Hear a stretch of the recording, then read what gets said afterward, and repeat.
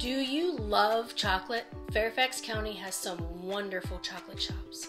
Let's go check them out. Hi, I'm Sherri Foster, your Northern Virginia right size agent. Today, I am so excited to show you the locally owned chocolate shops of Fairfax County. I started my delicious tour in Vienna. Wow, it smells amazing in here. I am at Cocoa Vienna on Church Street in Vienna, and they have awesome chocolates, as you can see.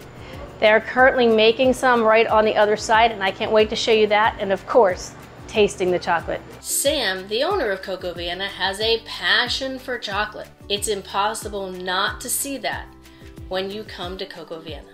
They have been making chocolate on site here for nine years. They are best known for their dark chocolate ganache, but really everything is delicious. They have boxes you can buy straight off the shelves or you can pick and choose your own delicious combination for that extra personal touch. They also specialize in corporate gifting, so come on down to Cocoa Vienna and their staff will help you choose that special gift for any occasion. We go from Cocoa Vienna to craving for chocolate. Hi, I'm at Craving for Chocolate. This place is amazing. They have great luxury items. They build boxes of chocolates for you. All of their chocolate is imported directly from Belgium. You gotta try it. This place specializes in luxury and corporate gifting. They have just recently opened their doors on Gallows Road. They are female owned and they work by appointment only.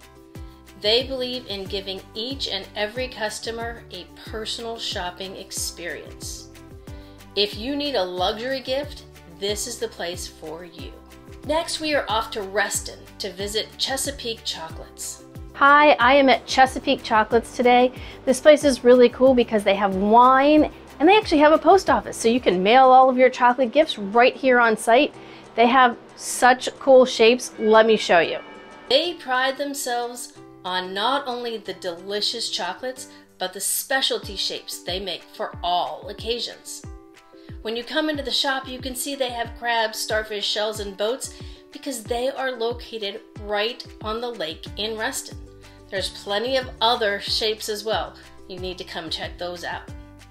They also have a lovely wine section featuring Virginia wines, and they support local artisans by selling their pieces. This place is all about showcasing the locals. Next stop is Fairfax. Hi, I'm here at Cameron's Coffee and Chocolate in Fairfax.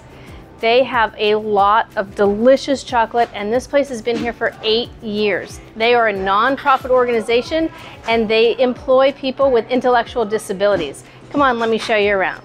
Cameron's Coffee and Chocolates is a wonderful place where they make all of their chocolate treats right here in-house. As I mentioned, they employ young adults with special needs to help their culinary professionals make these delicious chocolates and baked goods too. As a nonprofit, their goal is simply to keep these special needs employees working while providing delicious chocolate treats for the community. So come on in, you will be so glad you did. From Fairfax to Chantilly. Hi, I am at River Sea Chocolate Factory in Chantilly. This place prides themselves on their bean to bar chocolate theories. River Sea Chocolate Factory is unique. The cocoa beans they use are from different parts of the world, and that gives their bars different flavor profiles.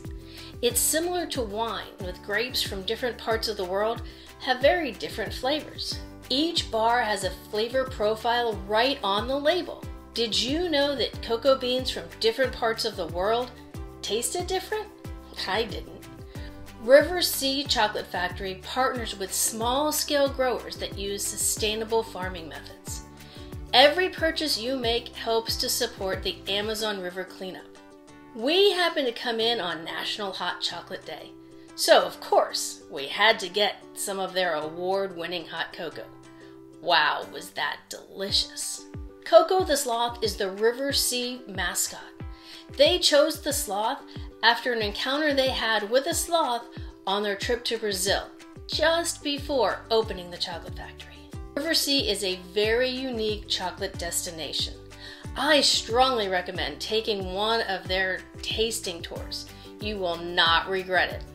I hope you enjoyed our chocolate adventure and that you learned more about the local chocolatiers and chocolate shops. Subscribe below so you don't miss my next Best of Fairfax video.